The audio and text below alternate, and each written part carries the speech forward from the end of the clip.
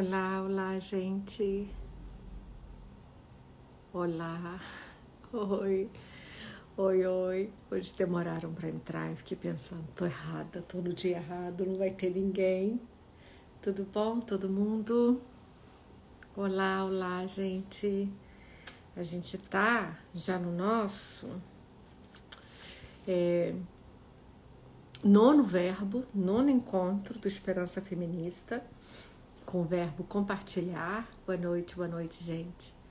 É, eu acho que hoje não é celebrar, não, né, gente? Hoje é compartilhar. Eu não tô confusa, não, no calendário, só para ter certeza.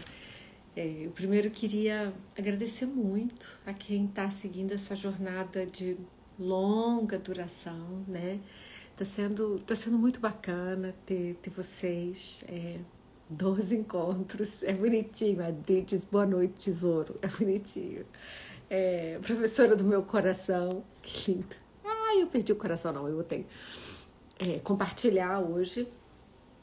É, então, eu queria muito que, sei lá, se a gente conseguiria inventar hoje um jeito diferente de fazer essa conversa. Eu acho que semana passada a gente criou um jeito tão único. Eu não sei, surgiu a coisa de nós lermos juntas primeiro, depois chegou de nós repetirmos juntas. E eu não sei bem o que a gente pode inventar mais. Eu queria deixar um tempo aberto se vocês teriam é, ideias é, de como é que a gente poderia compartilhar né, esse espaço.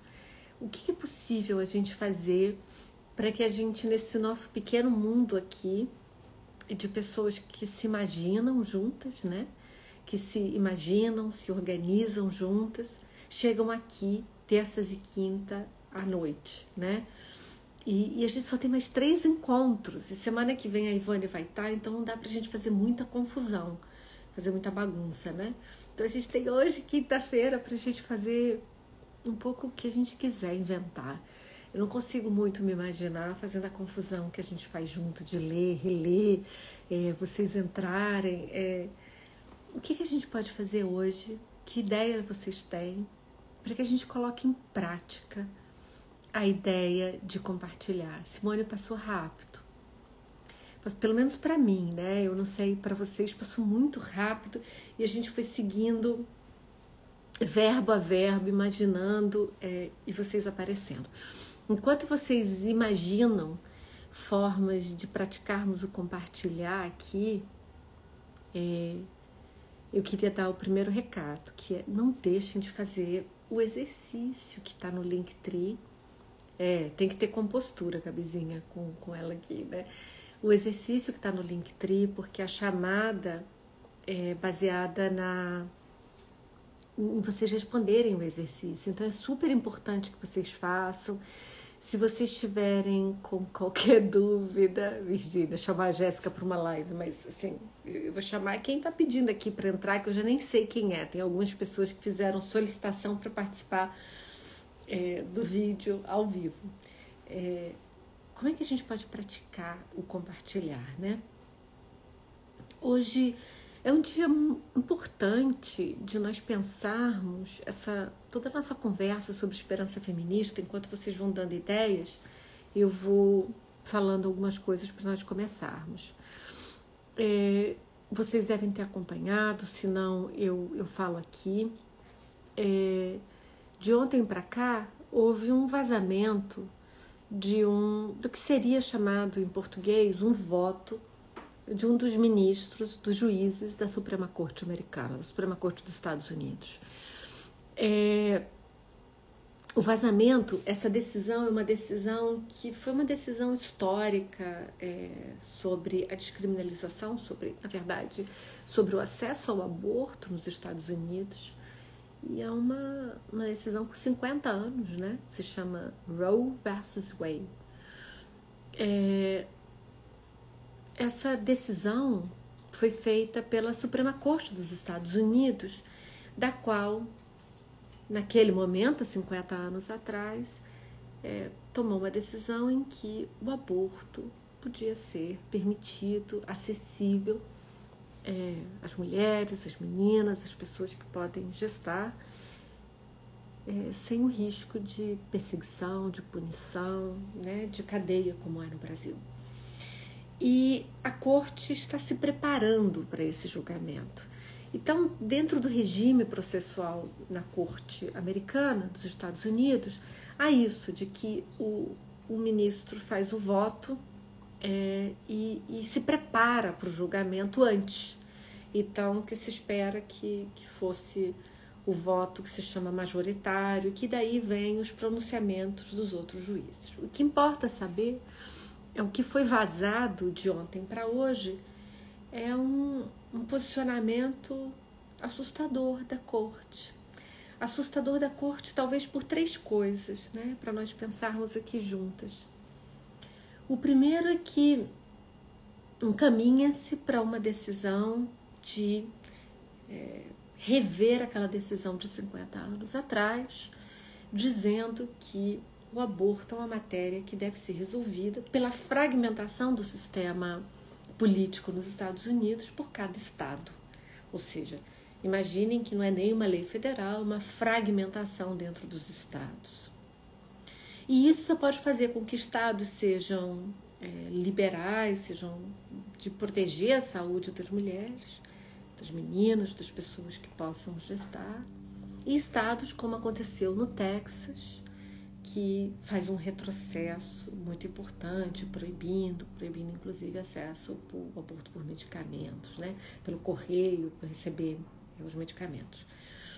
É, então, você tem um impacto imediato nas mulheres que vivem nos Estados Unidos, nas pessoas que vivem nos Estados Unidos, e em particular aquelas mais afetadas pelas desigualdades, né, gente? É imaginar. É, são, são as imigrantes, são as indocumentadas, são as mulheres negras, as mulheres latinas, é, as trabalhadoras. Mas há dois outros níveis de é, de impacto no que nesse documento circulado que não se anuncia, que não se anuncia como uma possível decisão da corte.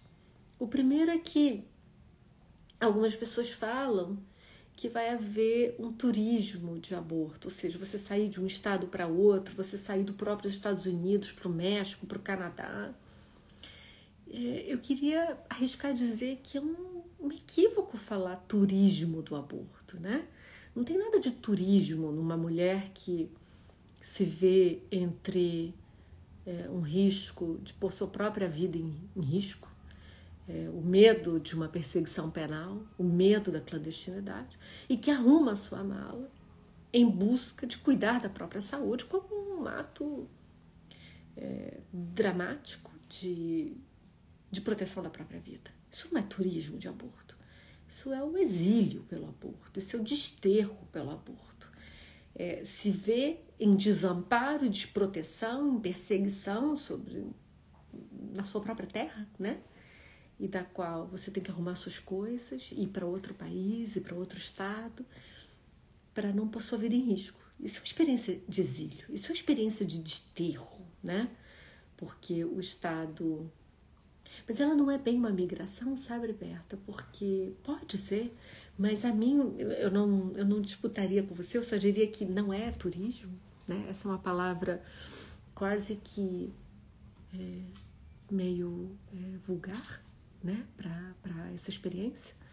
É uma experiência de desterro, de ser desterrada do seu próprio território, para não morrer, para não arriscar a própria vida, para não se colocar em risco. Então nós precisamos de imaginação para isso. Vocês lembram daquela menininha de 11 anos que durante a pandemia foi era violentada e se descobre que ela sofria violência sexual, aquela menininha do interior do Espírito Santo, e que os médicos da sua cidade disseram: não, a gente não vai fazer, por múltiplas razões, a gente não vai fazer aqui o aborto. E ela tem que pegar um avião é a primeira vez na vida. Eu, eu, peço que as pessoas imaginem o que significou isso. Ela pegou um avião, ela pela primeira vez, ela sai da própria casa, as pessoas invadem a casa, e aquele fanatismo, é, inclusive é, representantes do poder político que nos governam foram até a casa, invadiram a casa, exatamente. é, políticos entraram. Era um exercício de um fanatismo. Ela toma um avião, ela entra num porta-malas de um carro dentro do serviço de saúde no Recife. E que havia uma multidão de fanáticos na porta. Lembram disso? Ela entra num porta-malas de carro. Ela sai também escondida, pega um avião e vai para um outro lugar. Ou seja, ela vive essa experiência. O que é essa imagem de entrar num porta-malas de um carro, passar por pessoas gritando, se não é de uma fuga? Se não é de ida para um desterro, de um exílio, mas de uma fuga, de uma perseguição. Então, é isso que acontece quando é, o aborto se torna um tema fanático, né, criminalizado como é. Então, o segundo impacto imediato de uma futura decisão como essa é que os Estados Unidos são um país que importam não só. É, era 11 anos, você tem razão, Ana. Importam não só um imperialismo militar, econômico, cultural, né? não é só Hollywood, não é só a guerra, é também a economia com o capitalismo, mas é também a moral. E a moral ela pode vir pela circulação de valores, como ela pode vir pela forma do discurso jurídico, né? Disso que se chama as decisões das outras cortes. Então, os Estados Unidos é um país que teve um papel muito importante na interpretação de direitos é, fundamentais, como de igualdade LGBTQI, sobre casamento igualitário, união de pessoas do mesmo sexo, essa, essa chave que entra agora na corte sobre se dizer aonde deve-se ou não se interpretar esses temas, abre uma chave perigosa de vários temas de liberdades individuais. Mas também carrega consigo é, uma, e eu, eu, peço perdão por vocês para estar usando os dez primeiros minutos é, para falar disso. Se vocês acharem que é inapropriado, eu, eu mudo o tom eu, eu mudo o assunto, mas era porque eu vim com esse espírito de, de primeiro de falar, né? Passei o dia pensando sobre isso e querer poder conversar e quem sabe você exercitar o compartilhar, né? É, mesmo que está sendo em uma direção, mas eu vou lendo vocês e, e vendo se está se tá no lugar errado, se não é isso que vocês querem e, e, mas vou continuando. Então, um segundo risco dessa decisão é não só a importação dessa por esse imperialismo, porque é uma é uma é uma relação né, de muita força de desigualdade de poder no campo moral, no campo dos valores, das interpretações, por bem e, e por mal, mas por uma concepção equivocada é, de democracia. Né? Esse se nós lermos é, o que é um rascunho, porque é um processo, né, para daí se terem as outras posições dos outros juízes e juízas, é, é uma concepção é, estreita e equivocada de democracia. E onde que está o estreito e equivocado? É que as cortes são sim espaços legítimos e legitimados para defesa de direitos fundamentais. Então, o que isso significa entre nós? Né? O Brasil tem uma ação no Supremo Tribunal Federal, na Suprema Corte, que pede descriminalização do aborto. E cabe à Corte a revisão de questões constitucionais, que é aquilo que se chama leitura conforme a Constituição, que é uma revisão de direitos fundamentais ameaçados. E o que esse, esse documento da Corte dos Estados Unidos diz é que, na verdade, é, a, questão do aborto cabe aos, ao legislativo de cada estado, em que não cabe à corte. É, eu, eu posso dar pelo menos três respostas a vocês de como isso é uma visão estreita, equivocada e profundamente moralizante sobre é, a questão do aborto, mas fazendo uso de um cacuete, de um atalho é, sobre a distribuição entre os poderes em uma democracia. Uma democracia é composta né, do executivo, do legislativo, do judiciário, que tem igualmente e em diferentes momentos o dever de proteger direitos fundamentais. Mas o dever de uma Corte Suprema, como é o Supremo Tribunal Federal no Brasil, tem por dever a garantia da Constituição. Se se entende que o acesso ao aborto legal, seguro, de uma menininha de 10, 11 anos, por exemplo, é uma matéria de direito à saúde, de direito à vida, de dignidade, de, né, de proteção igual, a igualdade de gênero, por exemplo, nós podemos fazer aqui um, um está livre de tortura, que é essa imagem que passa essa menininha ao entrar num carro, ao chegar e correr o risco de ser agredida por fanáticos. Ela é uma matéria de direitos constitucionais. Então, cabe à Corte Suprema é, fazer a sua revisão, a sua atualização, a sua interpretação, né? É, ela não pode abdicar desse lugar. Abdicar desse lugar por um jogo político de dizer que cabe ao legislativo, onde nós sabemos que por onde a composição da política, do político na política representativa, ela demora para, para proteger desigualdades estruturais da qual nós vivemos, como as desigualdades raciais, como as desigualdades de gênero, como as desigualdades é, por orientação sexual. Só para citar algumas. Então, cabe ao legislativo, cabe ao judiciário, cabe ao executivo, né, quando se desenham políticas públicas. Então, essa é uma interpretação estreita, eu diria equivocada. Um segundo argumento que eu colocaria é que Colômbia recentemente descriminaliza o aborto por uma decisão da corte. Só que o impacto geopolítico, o impacto moral de uma corte na Colômbia, uma corte constitucional na Colômbia, no Brasil, não é o mesmo de uma corte, de um império como é os Estados Unidos, na sua importação de interpretações, de valores, de bens, de consumo para o mundo, né? Que é uma geopolítica do norte e do sul que entra em jogo. E quem vai sentir o dia seguinte, imediato, além das mulheres concretas que vivem nos Estados Unidos, é o chamado sul global os países aos quais vem seu processo de longa duração de transformação de leis perversas sobre o aborto, América Latina e o Caribe é a região do mundo que concentra maior criminalização do aborto e com altas taxas de aborto, porque a criminalização não impede o aborto. O que a criminalização faz é criar barreiras, é criar estigma. E se vocês me perguntarem Quais as evidências? Evidências como abandono da escola, gravidez na adolescência precoce, morte materna. Vocês podem me perguntar, me dá um exemplo concreto. Quem me acompanhou por aqui viu quando nós fizemos a pergunta muito simples: por onde o Covid passou no mundo? Por onde o Covid passou no mundo?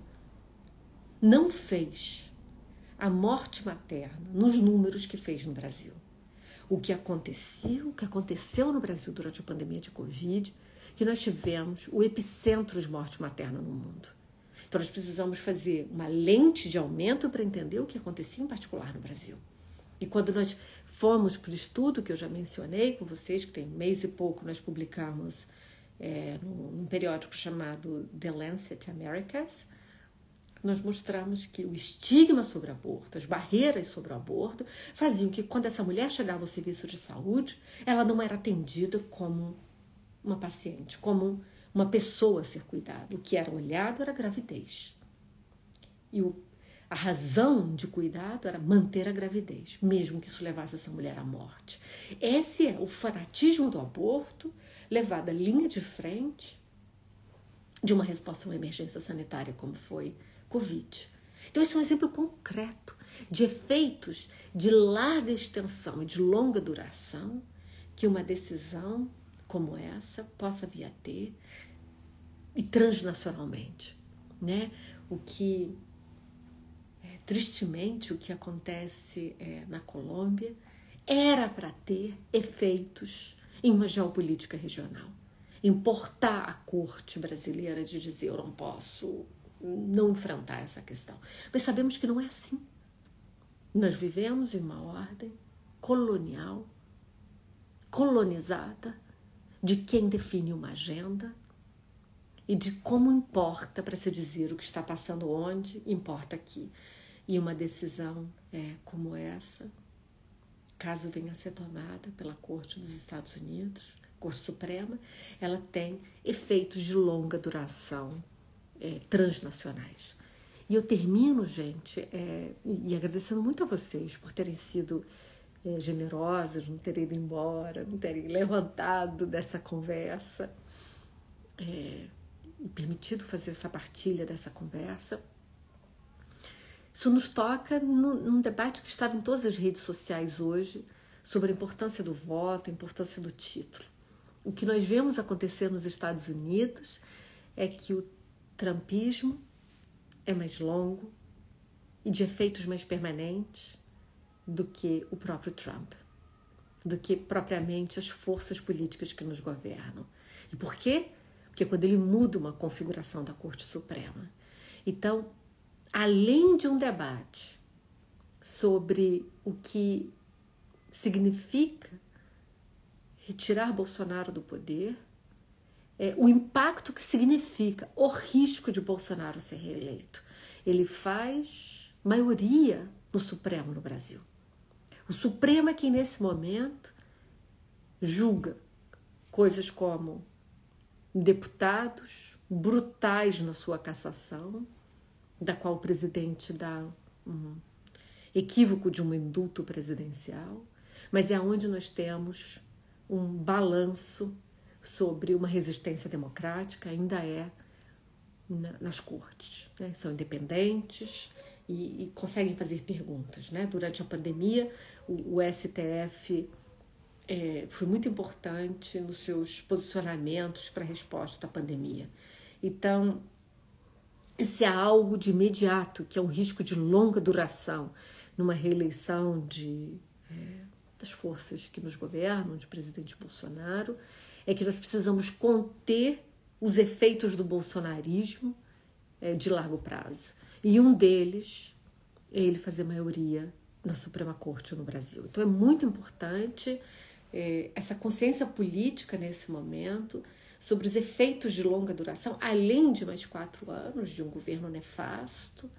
É, nós estamos vendo o que significa é, dengue e zika despontarem novamente é, no horizonte da realidade das mulheres brasileiras, o que significa duas mulheres em Goiás diagnosticadas com zika durante a gravidez. Nós fomos o epicentro há sete anos atrás, o que significa agora e nesse momento da nossa história depois do Covid. Então, eu peço, é, na verdade, eu agradeço muito a vocês por essa generosidade de fazer esse início tão fora do protocolo, é, de, um, de uma conversa sobre, sobre o que significa, o que parece tão longe de nós, mas é tão, tão nosso, é, que diz tão, tanto respeito a todas nós, quanto o que se passa na Corte Suprema dos Estados Unidos nessa decisão, ou nesse processo de decisão é, sobre o que vem a ser a revisão da decisão é, que autorizava o aborto desde os anos 70. Nós podemos continuar a conversar sobre isso como vocês quiserem, por aqui, escrevendo, trocando ideias. Eu queria, se vocês me permitem, vou passar de novo. Ninguém me deu ideia sobre como nós faríamos compartilhar de uma maneira diferente, então eu, sem muito planejamento, fiz essa explosão de uma falação sem parar sobre que a gente não diga, que vocês possam me ajudar a lembrar que a gente nunca mais fale turismo do aborto que a gente fale. É... Ah, eu adorei isso, Gabizinha. Um Zoom happy hour de confraternização faz o 12 segundo verbo. Eu adoro, podem contar com isso. Se vocês montarem, a gente faz. É vocês montarem e me dizerem aonde eu entro e eu entro. Eu adoro essa ideia e vocês podem montar.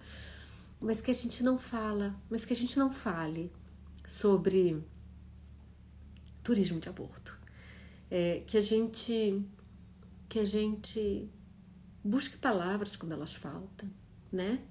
É, e a minha proposta aqui é nós começarmos a falar sobre o exílio imposto pelo aborto, sobre o desterro temporário imposto pelo aborto, sobre essa experiência de ter que se ver é, fora do seu próprio território para não morrer, para não adoecer, mas que que que se isso fizer sentido, que a gente possa criar junto, como alguém falou, migração pelo aborto, como vocês é, como nós formos criar juntas, o que me toca nesse momento é como esse desterro, é ser desterrada. É ter que imaginar essa mulher arrumando uma mala, pegar um ônibus, pegar um carro, pegar um avião e a outro país. Imaginem que, que experiência, é, é uma experiência assustadora, né? Do idioma a. Quando esse é o caso, como é para muitas mulheres brasileiras, a se ver sozinha em outro lugar, para uma experiência que deveria ser uma experiência de cuidado na esquina da sua casa ou dentro da sua própria casa, como é um aborto por medicamentos, né? Então, se vocês, é, se a gente conseguir voltar para o tema de hoje, que é um sequestro de liberdade. Isso eu não tenho dúvida como você, Gabizinha, é um sequestro de liberdade e é um, um desterro, é um desterro temporário, mas é uma violência extrema, sem dúvida. Nós podemos ir para o compartilhar, que aí a gente fica uns 20 minutos nele, uns 15 minutos nele, a gente abre é, para vocês. Quando eu fui escrever compartilhar, ele, ele é um verbo que me toca na minha própria. porque eu acredito para a vida, né? É essa interdependência, esse encontro, é, é fazer as coisas sempre no coletivo, porque não. É, nós falamos muito da importância da independência, da autonomia, o feminismo fala disso. É, nós queremos ter agência, autonomia, liberdades. Eu não, eu não disputaria esse, essa agenda. Mas nós não podemos esquecer que nós somos interdependentes. Isso está no capítulo da Ivone. A interdependência é a condição humana. Né? Nós não sobrevivemos sem a interdependência, sem o cuidado. É, nós precisamos, talvez, a pandemia de Covid para colocar cuidado no centro da nossa conversa. Sempre esteve no centro da vida das mulheres. O cuidado das crianças, o cuidado das pessoas dependentes, o cuidado, cuidado, cuidado. O uso do tempo das mulheres, quando nós fazemos uma conversa sobre tempo e uso do tempo, ela passa pelo quanto das existências, ou seja, o quanto do tempo é dedicado a cuidar Seja cuidar da cozinha, cuidar da roupa, cuidar da criança, cuidar da casa. E muitas mulheres ainda trabalham em profissões de cuidado. Né? Profissões de cuidado sentidas num sentido amplo, desde profissões, trabalhos muito precarizados, como o trabalho doméstico, que recentemente foi o dia do trabalho doméstico, trabalho de cuidado na enfermagem, né? auxiliar de enfermagem, o cuidado como professora, isso é um, um trabalho de cuidado, né? Ensinar é um trabalho de cuidado. É, até a maternagem, que é um trabalho é, amoroso, mas de cuidado, né? E que, e que é pouco reconhecido, mas que é o uso do tempo, Claro que eu uso, você tem prazer, você tem uma experiência amorosa de encontro, mas ele tem uma alienação imposta pelo dever, pelo não reconhecimento, pela desproteção. E por que é tão difícil colocarmos a interdependência, o cuidado eh, naquilo que deve ser o centro dos nossos valores sobre uma vida boa, sobre uma vida justa? Sobre uma vida em que permitimos mútuas proteções, dado que não sobrevivemos como espécie sem a interdependência. E por que falar tanto, né? A uberização da vida foi a exacerbação de uma individualidade, de uma ideia de sucesso individual, e nós vimos o que significou com a pandemia de Covid.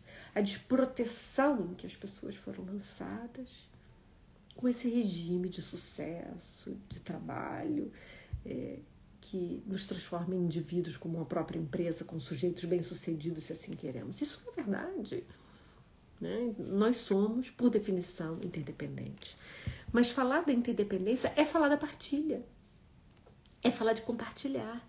E a Ivone traz isso com muita força no capítulo dela, como em uma ordem do capitalismo, em uma ordem do lucro, em uma ordem neoliberal, né, de que o indivíduo é a própria empresa, o indivíduo ele tem sucesso, o indivíduo que busca prazer é, e, que, e que não reconhece a interdependência, porque essa ordem moral, essa ordem econômica tem dificuldades em, em colocar no centro a independência, o cuidado, a proteção, mas sim uma ideia equivocada de que nós sobrevivemos na independência, é porque temos dificuldade em falar, compartilhar.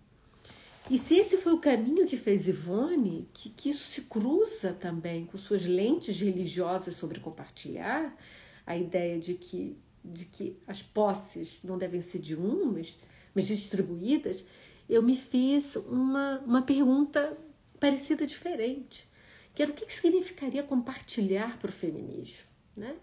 Com aquela pergunta que, que é uma história que se vocês puderem me ajudando escrevendo aqui, igual a gente fez na semana passada, quando Sojourner Truth, esse é um nome que fez uma combinação do francês com o inglês, que era uma é, na história dos Estados Unidos, uma escravizada, é, Sojourner Truth, de verdade, né?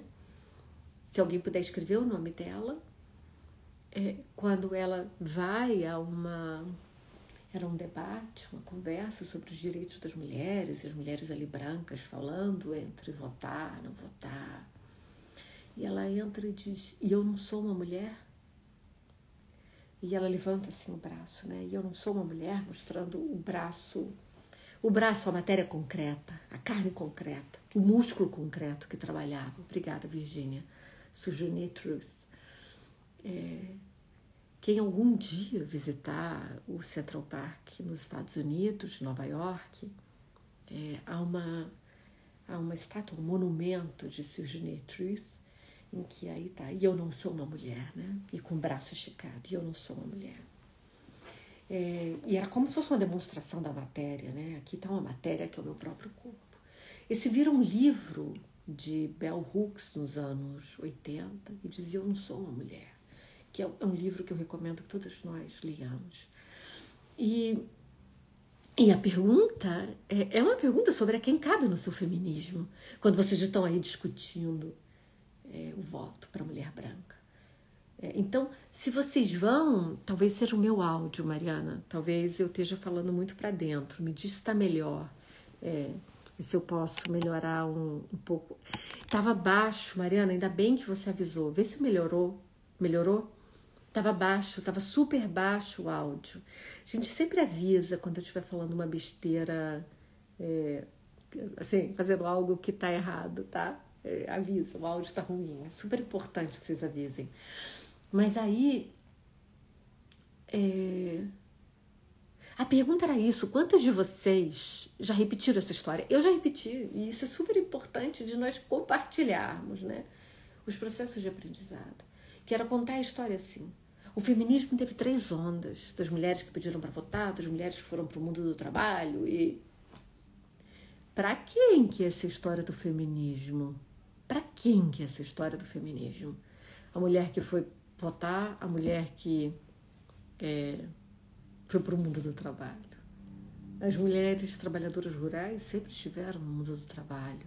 As mulheres negras escravizadas no Brasil foram feitas trabalhadoras antes de qualquer espolia, espoliadas pelo trabalho, é, antes de qualquer outra configuração de sobrevivência. A desumanização se deu pela, pela matéria feita simplesmente é, trabalho para uma expoliação é, pelo racismo, né? Então, a quem essa história sobre uma luta feminista de partilha coube? Né? A quem cabia nela? Então, se isso causa espanto a mim hoje, uma história que eu repito, eu mesma repeti, talvez se a gente abrir a Wikipedia, é, vai estar tá lá, a história do feminismo em ondas. Em ondas para quem? Aonde nessa história as mulheres com deficiências, mulheres atípicas entraram? Aonde? É, que história oficial quem cabe nela? Né? Como cabe nela? Porque é quem conta e sobre a quem se partilha essa história. Então a pergunta que, que me parece uma pergunta desafiante aos feminismos é sobre quem cabe nessa partilha.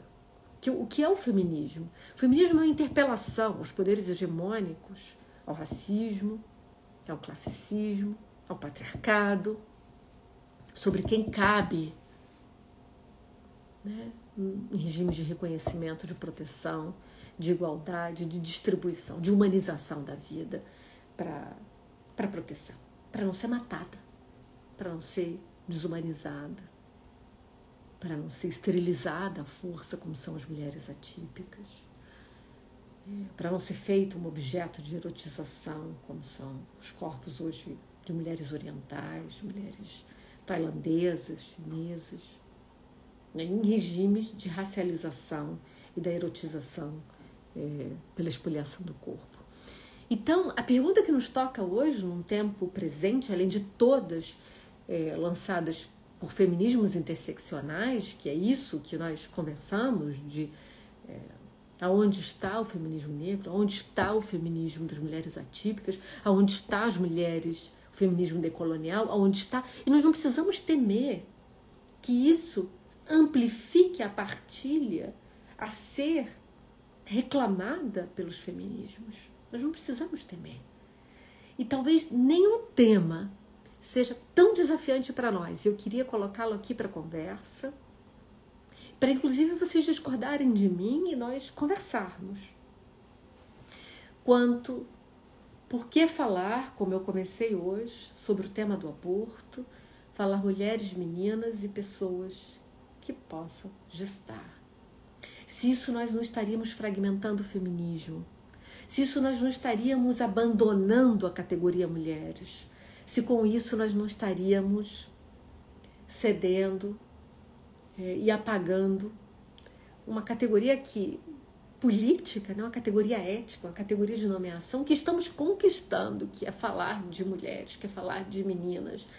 E aí passamos a falar mulheres, meninas e pessoas que possam gestar. É, há muitas pessoas que sustentam, claro que sim, das mulheres indígenas, eu não tenho a menor dúvida também, Dejana. É, é de quantos vocês puderem imaginar a nossa diversidade.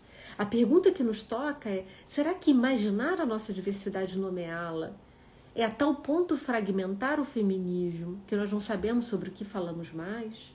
Falar de mulheres de fé, como esse livro, esse é um livro de um encontro entre um feminismo laico, secular, que é o que eu, o que eu penso, por onde eu me comunico, isso não quer dizer que eu não converse com mulheres de fé.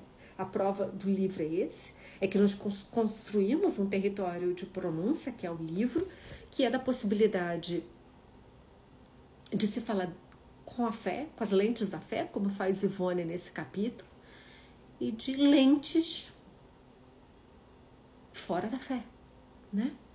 É, mas eu escuto muito por aqui e de pessoas que, que vêm com, muito, muita delicadeza, não vêm com nenhuma ofensa e me diz, Débora, para de falar é, pessoas que podem gestar, para de falar no, no gênero neutro, porque você está apagando é, as mulheres. E há algumas pessoas que vão mais longe ainda, né? Que dizem coisas como corpos trans não, não devem poder usar é, banheiros que não forem conformes à sua classificação, à sua sexagem original. É, e que diria não, é, movimentos trans possam ser outro movimento, mas não feminista. E, e quando essas pessoas me interpelam com isso, eu sempre paro para pensar, elas são interpelações, e eu me ofereço o tempo para pensar, e especialmente quando as pessoas chegam com civilidade, com conversa. E ser desafiado não é um problema, ser é, pessoas que podem gestar. Alexandra, obrigada por ter feito a pergunta. Não sei se alguém quer me ajudar a responder. É, homens trans, exatamente. É, então, eu acho que, que é importante nós irmos, né? É, e pensarmos, se alguém quiser ir me ajudando a responder. Imaginem que quando nascemos, somos é, um, um bebezinho recém-nascido, né? É, e que vai ser feita uma primeira classificação, que já foi feito para muitos é, ainda na gravidez, com os exames pré-natal, da qual se faz, vai ser menino, menina, não é assim? Em geral, quando nasce, se imagina o mundo como binário, menino ou menina. E aí se preenche um papel. E aí se dá um nome.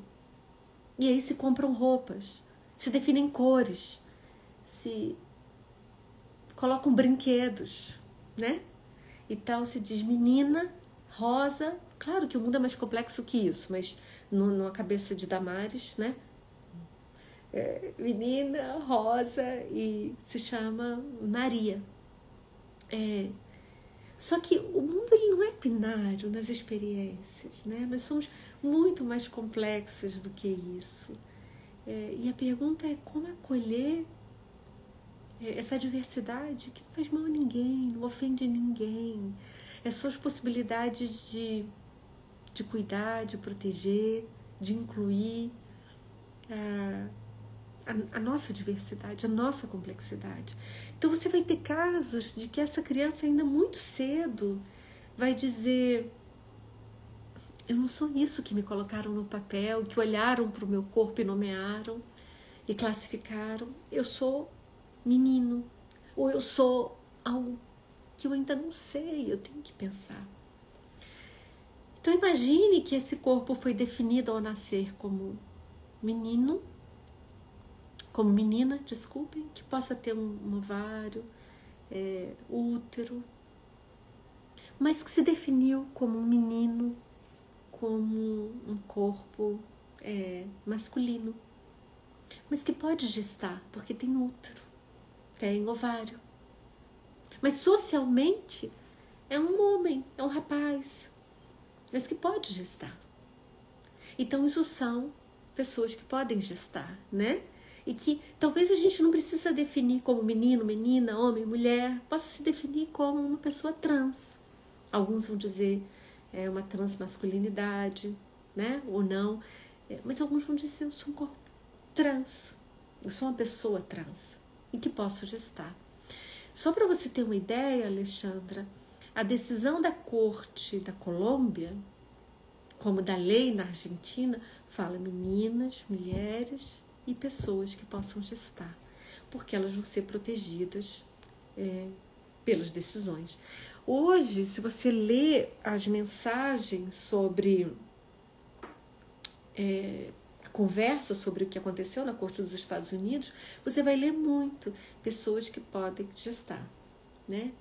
Então, aqui a pergunta sobre compartilhar, que é o verbo de hoje, se nós estamos. É, eu quero falar, Alexandra, sobre não me considerar uma feminista, tá? É, que, que a exclusão enfraquece. Quanto mais nós formos capazes de criar alianças, quanto nós formos capazes de imaginar um mundo em que cabe mais gente do que menos gente, isso é uma reflexão feminista sobre o mundo.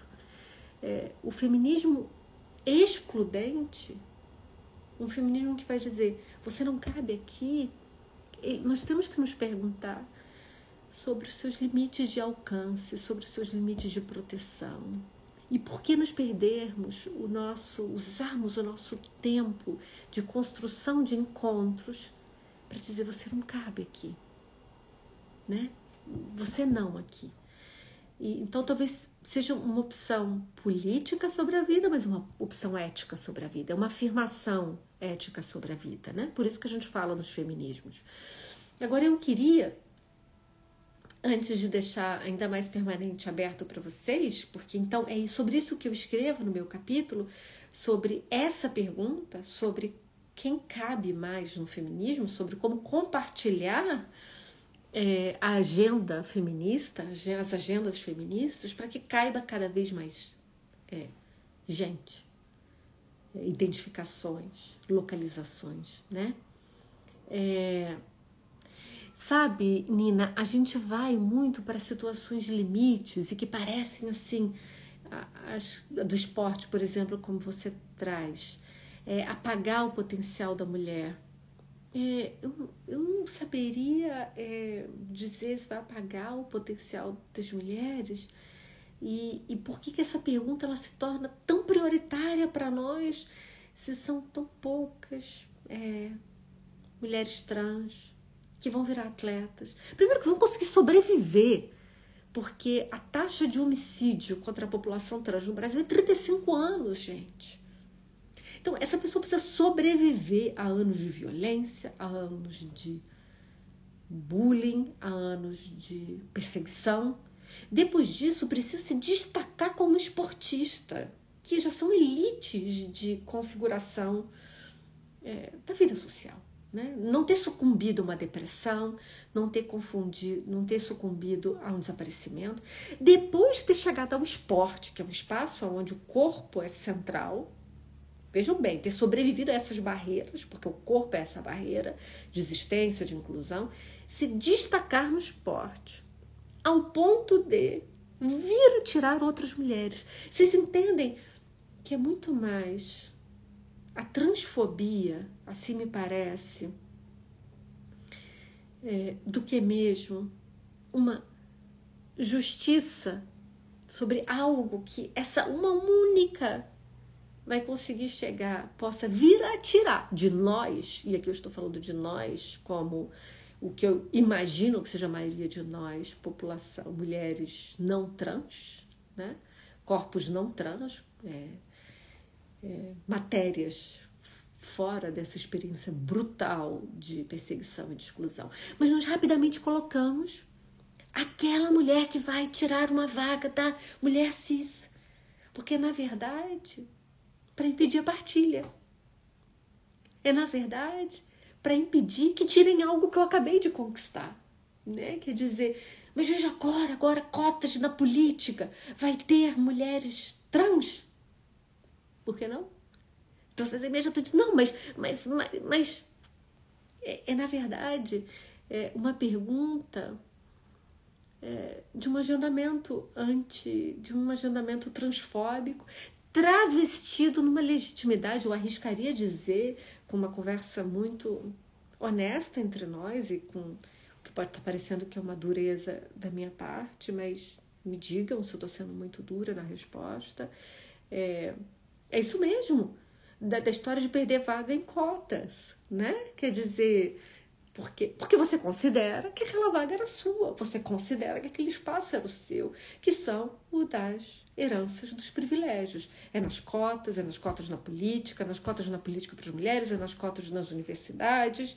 Então, é, é na verdade perguntas que circulam e são legitimadas, Nina, é, porque elas protegem o estado de coisa, inclusive de uma conquista do feminismo, sobre cotas na política. Aí nós vamos agora, nesse ano, tão importante para a transformação é, da forma de fazer política no Brasil, nos, nos debatermos com uma falsa pergunta sobre se as mulheres trans podem ou não ser contadas como cotas de mulheres na política.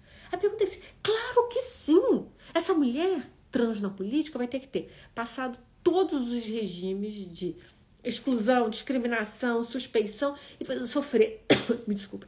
Ainda de nós, feministas, uma pergunta sobre se elas podem, podem ou não representar outras mulheres. Semana passada vocês viram o escândalo que eu dei aqui no domingo, quando a vereadora Erika Hilton entrou, que eu disse: não pode, uma pessoa dessa não pode entrar é, numa sala de aula dos outros assim impunemente. Não pode. Porque vocês podem ter certeza que se ela entrasse e eu estivesse em corpo vivo com ela, eu não ia conseguir mais dar aula, eu ia pedir para tirar foto. A gente acabou, né? A gente acabou, não ia ter mais conversa. Mas é, fora essa, essa, essa, esse escândalo todo, é, é, é ler dois dias do que a vereadora publica para ver o que significa um corpo trans na política. E o que significa é, Érica Hilton se candidatar a ser uma deputada é, federal, né? E então, é, o que significa ela ainda ter que se confrontar com um feminismo excludente que não quer compartilhar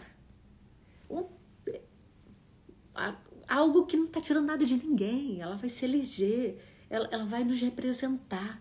Então, a pergunta para nós, me parece, e que é uma pergunta para nós é, na nossa vida cotidiana, aonde nós caímos nessa armadilha das falsas perguntas sobre não compartilharmos o que imaginamos que são nossas conquistas no feminismo.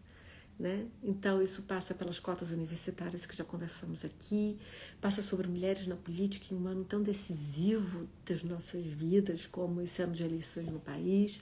Isso passa sobre quem cabe no meu, no seu, no nosso feminismo. E por que não usar um pronome neutro? É, e também por que não usar mulheres também? É, nós não precisamos de fórmulas absolutas a contexto que nós vamos falar mulheres e meninas. Eu faço isso muito aqui, vocês já viram. Há momentos em que eu vou fazer mulheres, meninas e, e pessoas que possam gestar, e aí nós vamos, nós vamos criando essa comunidade de pertencimento e de aliança. A solidariedade que é construída pelos regimes de partilha, e aqui é onde Ivone e eu nos encontramos, em um um princípio da vida que, que é muito religioso, mas eu diria que também é profundamente da cultura dos direitos humanos e laico, que é o da solidariedade, nós precisamos de solidariedade entre os movimentos, entre os grupos. E, e essa solidariedade vai vir pela afirmação da diversidade. Ela não vai vir se alguma de nós vier à roda de conversa e perguntar: e eu não sou uma mulher?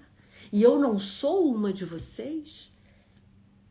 Há um equívoco na forma como nós estamos partilhando as conquistas, a luta, a voz, o espaço, a representação dos feminismos que queremos né, animar e, e, e, conviver com eles. Então, é, eu queria perguntar a vocês, nós temos cinco minutos para terminar. Eu disse que hoje eu ia é, fazer uma confusão qualquer para imaginar o que era compartilhar. Então eu comecei de um jeito muito diferente e eu sei que terminei é, de uma maneira que algumas de vocês discordam de mim, eu, é, eu conheço a opinião de vocês e, que esse seja um espaço para quando o vídeo suba vocês discordem e, e que a comunidade converse, né? É, e eu só peço que nós mantenhamos um tom civilizado da conversa, né? Sobre um feminismo que não é transfóbico, um feminismo em que cabe é, as pessoas trans, em que é capaz de, de viver é, sem imaginar que está perdendo é, o próprio espaço das mulheres. Lembrar, e eu quero fazer uma pergunta para vocês antes que vocês vão embora, vocês não vão desligar antes de eu fazer minha pergunta. É, nós temos três verbos ainda. Quinta-feira é um verbo super importante, gente, que é perguntar. Se você não leu nada até agora, se você está atrasado em tudo, você está vindo aqui enquanto está dirigindo, lavando louça, dando banho, tudo bem. Tenta ler esse verbo, gente. Tenta ler o verbo compartilhar, ou o verbo perguntar. Tenta ler ele. Sei lá, eu acho que é um verbo que a gente precisa saber perguntar melhor. Que é isso? A gente, sem querer, repete a pergunta do sistema de opressão. Mas e os corpos trans, as mulheres trans na, na no esporte? Mas e os, as mulheres trans na política? É esse mesmo problema? É essa pergunta mesmo que eu tenho que gastar o meu tempo, pensar o meu tempo para responder? Qual é a pergunta que eu quero, que eu quero responder, né? E pode parecer meio simples demais, mas não é, gente. É complexo demais. Saber perguntar. Porque para perguntar nós precisamos imaginar, recriar, reparar, escutar, ele é um verbo muito difícil de ser executado na sua capacidade criativa de ruptura do sistema de opressão. Que as nossas perguntas são reprodutoras do sistema de opressão, porque o que o patriarcado tenta fazer é colonizar, é uma amnésia da nossa imaginação. Ele não consegue. Tanto que nós conseguimos fazer perguntas que são disruptivas a ele, né? mas a sua força é por tentá-lo. Então, eu queria hoje imaginar que eu posso ler vocês três minutos. Que palavra nós levamos de hoje?